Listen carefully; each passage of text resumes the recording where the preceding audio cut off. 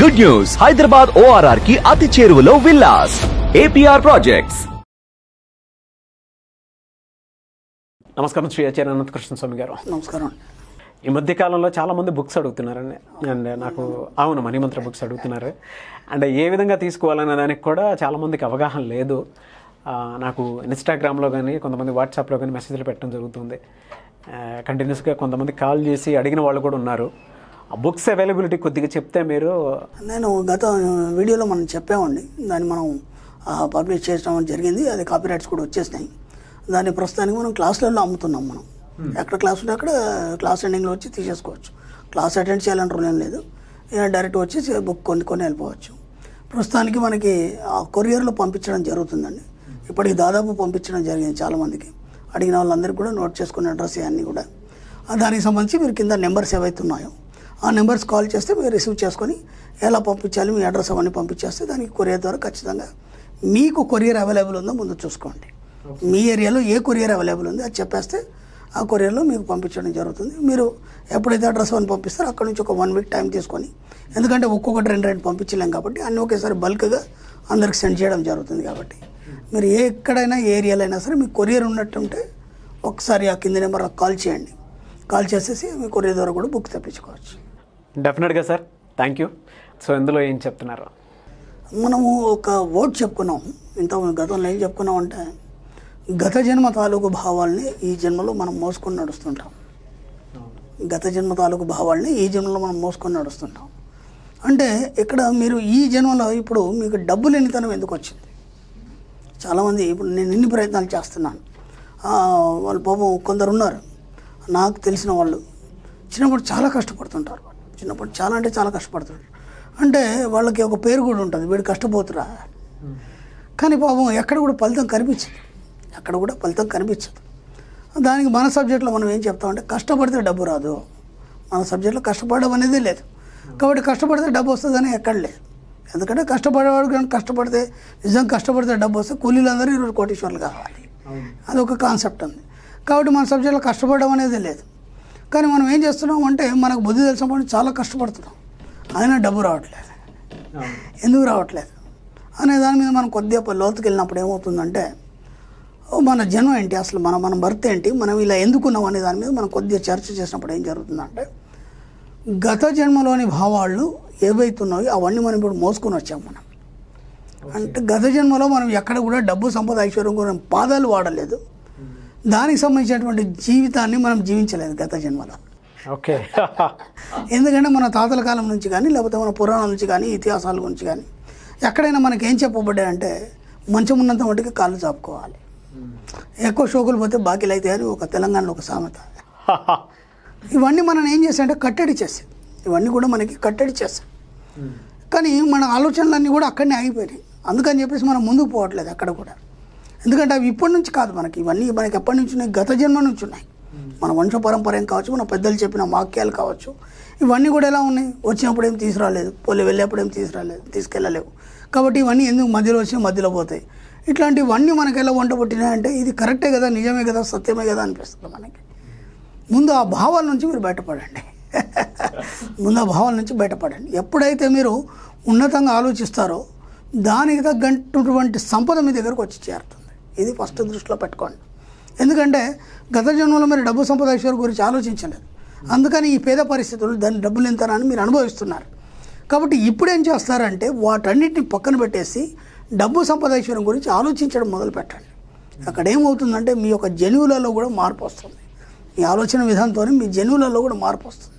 మార్పు వచ్చి ఏమవుతుందంటే మీరు ఏదైతే ఆలోచిస్తారో అది కాబడతారో మీరు ఏదైతే ఆలోచిస్తారో అది పొందగలుగుతారో బైబిల్లో స్పష్టంగా చెప్పబడింది. మీరు ఏదైతే ఆలోచిస్తారో అది పొందగలుగుతారు. అంతే సింపుల్ అక్కడే. ఇంకా కొత్తగా ఏం లేదు దీనికి. కాబట్టి మెల్లిమెల్లిగా ఏం చేయాలంటే ఆ గత జన్మ భావాలు మిమ్మల్ని పట్టుకొని ఎక్కడైతే ఉన్నాయో కానీ పెద్దలు చెప్పిన వాక్యాలు ఏవైతే ఉన్నాయో వాటన్నిటిని మెల్లిమెల్లిగా మార్చడానికి మీ యొక్క ఆలోచనలు ముందు మార్చండి. ఓకే? మంచిగా ఉన్నంత కాలు చాపుకోవాలి లేకపోతే బయటపడతాయంటే ఎన్ని రోజులు ముడుచుకొని పడుకుంటాం దాంట్లో మీరు? ఒక్కసారి ఆలోచి.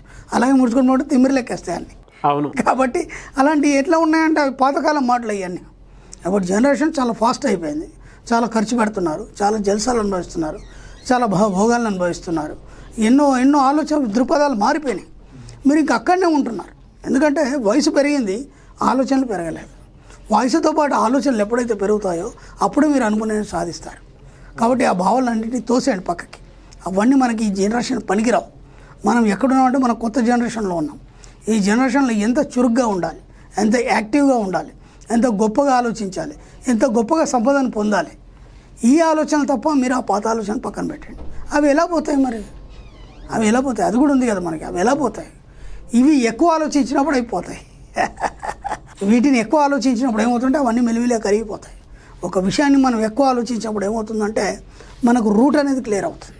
ఒక విషయాన్ని ఎక్కువ ఆలోచించి రూట్ అనేది క్లియర్ అవుతుంది. ఇప్పుడు మనం ఒక కొత్త ప్లేస్కి వెళ్ళాలి. మనకు ఆ ప్రాంతం ఎక్కడుందో కూడా తెలియదు మనం అన్వేషిస్తున్నాం. అంటే అది ఎక్కడ ఉందని తెలుసుకోవాలని ఆలోచన ఎప్పుడైతే మొదలైందో ఆ రూట్ అనేది క్లియర్ అవుతుంది ఆటోమేటిక్గా. ఎప్పుడైతే మనకు గూగుల్ వచ్చింది ఎక్కడుంది ఈజీగా తెలిసిపోతుంది. ఆ ఏరియా వెళ్ళిన తర్వాత మనం అడుగుతాం ఎవరు తెలిసిన వాళ్ళని అడుగుతుంది ఎక్కడ వెళ్ళాలి వాళ్ళని వ్యక్తి ఎక్కడ ఉంటాడు లేకపోతే ఈ ఊరు ఎక్కడ ఉంటుంది ఈ ప్రదేశం అక్కడ ఉంటుంది. ఓకే గూగుల్ కూడా అప్పుడప్పుడు కొద్దిగా చిన్న మిస్టేక్ చేసి ఇక్కడ చూపించి అక్కడ చూపించినా సరే మనం అక్కడికి వెళ్ళిన తర్వాత వ్యక్తిని అడుగుతాం. ఇవన్నీ ఎలా జరుగుతున్నాయి? నువ్వు ఎప్పుడైతే దాని గురించి ఆలోచన మొదలు పెడతావో దానికి సంబంధించినటువంటి ఎన్నో అవకాశాలు నీ దగ్గరికి రావడం మొదలు పెడతాయి మీరు మీ జీవితంలో కొన్ని విషయాల్ని గమనించండి. ఒక కొత్త విషయం మీరు ఇప్పటివరకు ఎక్కడ వినలేదు. అనుకోకుండా ఒక టీవీలో లేకపోతే వ్యక్తి ద్వారానో ఒక కొత్త పదాన్ని కానీ కొత్త విషయాన్ని కానీ మీరు విన్నారు. దాన్ని కొద్దిగా ఆలోచించండి. ఇది భలే ఉంది కదా ఇది ఇప్పటివరకు నేను వినలేదు. ఇది ఏంటి అనేది కొద్దిగా ఆలోచించండి. మీరు తెల్లారి పేపర్ దానికి సంబంధించి మొత్తం న్యూస్ వస్తుంది. ఆ పదానికి సంబంధించి కాబట్టి ఆ వాక్యానికి సంబంధించినటువంటి కొన్ని న్యూస్ వస్తుంది. లేదంటే మీ దగ్గర బంధువులు కానీ లేకపోతే ఒక మీ దగ్గర స్నేహితులు కానీ లేకపోతే ఇంకెవరు తెలిసిన వాళ్ళు కానీ అదే మాటలు చెప్పడం జరుగుతుంది. ఎందుకు? మీ యొక్క మనసు దాన్ని పట్టుకొని ప్రయాణం చేస్తుంది. కాబట్టి ఏమవుతుంది? ఆ దారి అనేది ఓపెన్ అయిపోతుంది. కాబట్టి మీ భావాల ఆలోచనలకి మీరు దారులు ఇవ్వండి. దారులు తెరవండి. తెలవాలంటే మీరు ఏం చేయాలి? ముందు ఆలోచించాలి. ఎలా ఆలోచించాలి? ఉన్నతంగా ఆలోచించాలి. ఉన్నతి వైపు మాత్రమే ఆలోచించాలి. నిరంతరం మీ ఆలోచనలన్నీ ఉన్నతి వైపు ఆలోచించినప్పుడు మాత్రమే మీరు అనుకునేన్ని సాధించడం జరుగుతుంది. ఎక్కడైతే మీరు పిసినార్థనం చేయడం కానీ తక్కువ చిన్నగా ఆలోచిస్తారు అటువైపు మాత్రమే ప్రయాణం చేయడం జరుగుతుంది. ఎందుకంటే మీకు అవే కనిపిస్తాయి ఇక ఇంకా కొత్తగా ఏం కనిపించవు. కాబట్టి మీరు కిందికి పోతారా మీదికి పోతారా మీ చేతిలో ఉంది అది కాబట్టి ఆ పాత పద్ధతుల్ని పాత మాటల్ని పట్టుకొని అవే నిజమని నమ్మేసి మీ జీవితాన్ని వెనక్కి తీసుకెళ్ళకండి. అంటే ఒక్కొక్క సిచ్యువేషన్ బట్టి అప్పుడు పాత తరంలో అట్లాంటి పరిస్థితులు ఉన్నది కాబట్టి వాళ్ళు అలా ఆలోచించారు. కొత్త తరానికి ఏమొచ్చింది? ఎన్నో ఆధునిక యుగంలో ఎన్నో కొత్త కొత్త ఆవిష్కరణలు జరిగినాయి. వాటన్నిటిని మనం అనుభవించాలి. ఇప్పుడు ఇంతకుముందు మొబైల్ లేదు. ఆ మొబైల్లో బోలెడ్ వెరైటీస్ వచ్చినాయి. ఓ ఎనభై వేలది ఉంది లక్షది కూడా ఉంది. అవి మనం ఎందుకు కొనద్దు మనం? మొబైల్ అంటే ఏంటి? జస్ట్ మాట్లాడడానికి వినడానికి అంటే సరిపోదు కదా. మరి అంత రేట్ అది ఎందుకు పెట్టారు? దాంట్లో ఫెసిలిటీస్ ఏమున్నాయి? వాటి గురించి మీరు కనుక్కున్నప్పుడు కదా మీకు దాని గురించి తెలుస్తుంది. ఆ అనుభవాన్ని కూడా మీరు పొందాలి కదా. కాబట్టి దాన్ని అందుకోవడానికి ప్రయత్నం చేయండి. కేవలం నా దగ్గర మొబైల్ ఉంది మాట్లాడడానికి వినడానికి అంటే కాదు. అది ఎందుకు ఉంది కొత్తది? దానివల్ల మనకి ఇంకా కొత్త కొత్త బెనిఫిట్స్ ఏమున్నాయి? దానివల్ల మనం ఏమేమి పొందొచ్చు? దానివల్ల మనం ఏమైనా సంపాదించవచ్చా దానివల్ల మనకి ఇన్కమ్ సోర్స్ ఏమైనా పెరుగుతుందా? ఎక్కడ? ప్రతి దగ్గర కూడా. మీరు ఏ ఏ పని చేసినా సరే ఇన్కమ్ సోర్స్ అనేది మనకు దానివల్ల ఎంతవరకు ఉంది? దాన్ని ఎలా పెంపొందించుకోవచ్చు? ఇలా కొత్త కొత్త ఆలోచన చేస్తే ఏం చేస్తారంటే ముందుకు వెళ్ళడానికి ప్రయత్నం చేయండి. కానీ పాత భావాలని మొత్తాన్ని వదిలేండి కాబట్టి ఇవన్నీ మీకు ఎక్కడి నుంచి వచ్చినా మీరు ఈ ఆర్థిక ఇబ్బందులు ఎందుకు పడుతున్నారంటే గత జన్మ నుంచి మీ యొక్క అనువంశిక లక్షణాల వల్ల పెద్దలు చెప్పడం వల్ల చిన్నప్పటి నుంచి మనం విన్నటువంటి ఏవైతే పాత కథలు పురాణాలు ఏవైతే ఉన్నాయో వాటిలో ఒక రాజు ఉన్నాడు లేదా ఒక పేద బ్రాహ్మణుడు ఉన్నాడు. వీళ్ళందరూ కూడా రాజ్యం అంతా పోయింది అంత కష్టాల పాలైపోయినాడు. ఆ తర్వాత ఎవరో యోగి దగ్గర పోయినాడు. ఆయన ఏదో చెప్పాడు మంచి ఇలాంటివి వింటూ వింటూ వింటూ మనకి అవే అలవాటు అయిపోయినాయి అనమాట మనకి. కాబట్టి వాటన్నిటిని పక్కన పెట్టండి. కొత్త కొత్త కొత్త కథలు మీరే సృష్టించండి. కొత్త కొత్తగా ఆలోచించండి. కొత్త కొత్తగా మీ జీవితాన్ని మార్చుకొని ఒక ఉన్నతి వైపు ప్రయాణం చేయాలని కోరుకుంటున్నాను. మీరు చెప్పినట్లు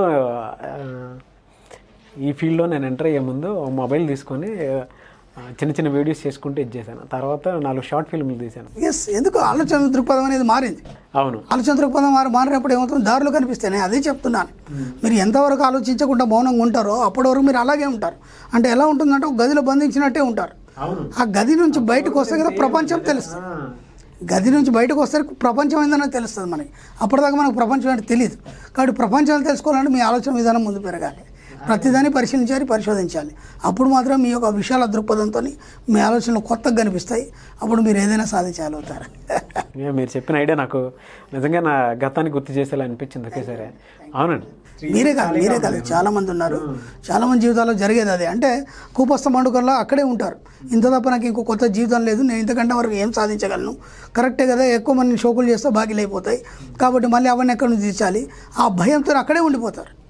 నీకు బాకీలు ఎందుకు అవుతాయి? నువ్వు అనుకున్న దానికంటే ఎక్కువ సంపాదిస్తానే ఆలోచన లేదు కాబట్టి నీకు భయం వేస్తుంది. భయం వేసి మీరు అక్కడే అయిపోతున్నారు సింపుల్ అంతే. నేను ఎంతైనా ఖర్చు పెట్టగలను నేను ఎంతైనా సంపాదించగలను. ఈ వర్డ్స్ మనం ఎన్నోసార్లు చెప్పుకున్నాం మనం. ఈ పదాన్ని పదే పదే చెప్పండి దానికి తగ్గట్టే ఇన్కమ్ సోర్స్ అనేది మీకు స్టార్ట్ అవుతుంది. మీరు ఎంతైనా ఖర్చు పెట్టగలరు ఎంతైనా అనుభవించగలరు లైఫ్ని. Great thank you sir thank you so much Shri Acharya Anantakrishna Swami గారు. Thank you